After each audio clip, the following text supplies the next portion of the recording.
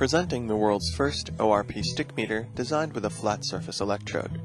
The ExStik ORP meter utilizes a platinum electrode with a built-in reference to provide high accuracy reading of the potential difference measured in a water-based sample. What sets this meter apart from your traditional ORP stick meter? Number 1.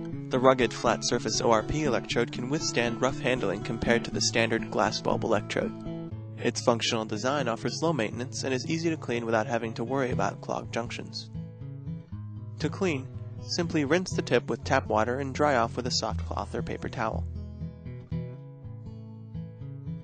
Number 2.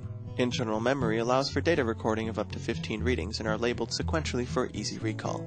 This feature eliminates the need to bring samples back to the lab. It not only saves time but provides maximum accuracy for on-the-spot data recording.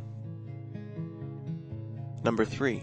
The large LCD displays the reading in millivolts while the analog bar graph offers a visual graph displaying the trends of the oxidation reduction reactivity period.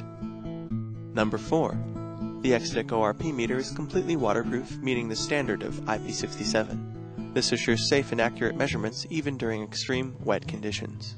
The meter also floats when dropped in water. Number 5. The optional extension cable of 1 meter or 5 meters allows for remote measurements. This facilitates measuring in difficult to reach areas. Also available is an electrode weight to help keep the electrode submerged in water while taking a measurement.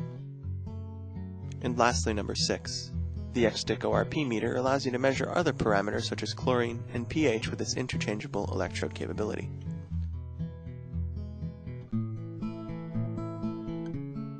Extech stresses on innovation to help solve your day-to-day problems by using the latest technology. We offer you a selection of meters and accessories to meet your application needs. We also offer ExStik kits for your convenience and added value. And when you use an Extech meter, we stand by it by providing you support.